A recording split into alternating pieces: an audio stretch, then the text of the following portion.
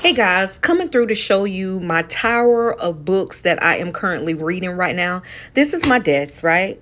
And y'all know what I do. I love to teach, and the only way I teach is to learn myself. And then when I go and do a video on what I've learned, this is what I go through in order to get the knowledge to give to you guys to eat as well. So let's talk about some of these books right quick.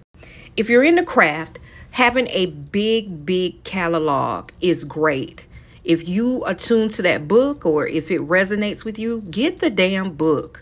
I sell a lot on my site, visionsbyvasori.com, and they're also on sale. But anyway, let me show you guys what I'm currently reading. I know it's a lot, but this here is the Natural Magic. Okay. And then I have one called Moon Bath. This here is the Book of Practical Witchcraft. This is my last year's almanac.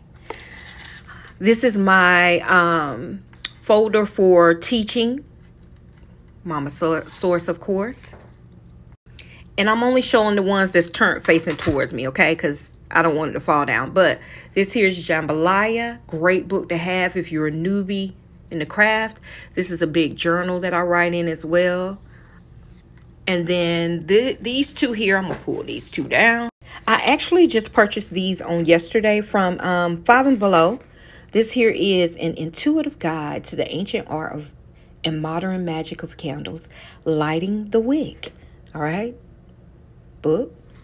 And then this one here, another one I just got yesterday, Backyard Pharmacy, Plants as Medicine. Five and Below.